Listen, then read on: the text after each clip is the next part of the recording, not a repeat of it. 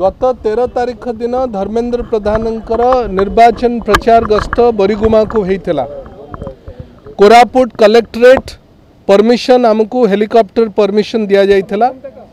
କିନ୍ତୁ ପରବର୍ତ୍ତୀ ସମୟରେ କୋରାପୁଟ କଲେକ୍ଟର କୋରାପୁଟ ଜିଲ୍ଲାର ଏଗାର ଜଣ ଅମଳା ଭାଇଙ୍କୁ ସସ୍ପେଣ୍ଡ କରିଲେ ଦୁଇ ଜଣଙ୍କୁ ଟ୍ରାନ୍ସଫର କରିଲେ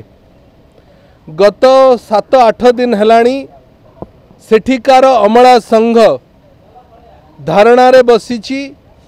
बसची तांकर दाबी होऊची जे तुरंत रिवोक्तु सस्पेनशन भारतीय जनता पार्टी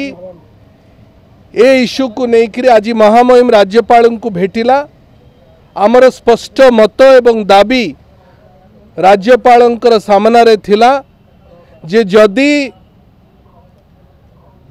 ରାଜ୍ୟ ସରକାରଙ୍କର ଇଙ୍ଗିତରେ କଲେକ୍ଟର ଏଭଳି ପଦକ୍ଷେପ ନେଇଛନ୍ତି ଏବଂ ସେ ତାହା ମଧ୍ୟ ସାର୍ବଜନୀନ ଭାବରେ କହିଛନ୍ତି ଏବଂ କଲେକ୍ଟର ଯେଉଁଭଳି ଭାବରେ ପଦକ୍ଷେପ ନେଇଛନ୍ତି ଆଦିବାସୀ ଅଧ୍ୟୁଷିତ କୋରାପୁଟ ଜିଲ୍ଲାରେ ବିଗତ ଦଶ ଦିନ ଧରି ସରକାରୀ କାର୍ଯ୍ୟକ୍ରମ ଠପ୍ ହୋଇଯାଇଛି କୌଣସି ଫାଇଲ୍ ମୁଭମେଣ୍ଟ ହୋଇପାରୁନାହିଁ ଏଣ୍ଟାୟାର ଜିଲ୍ଲାର ଅମଳ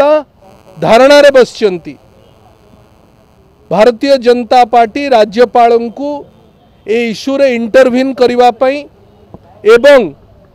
କଲେକ୍ଟର ଯିଏ ନିଜ ନିଜସ୍ୱ ଭାବରେ ଯେଉଁଭଳି ଭାବରେ ପଦକ୍ଷେପ ନେଇଛନ୍ତି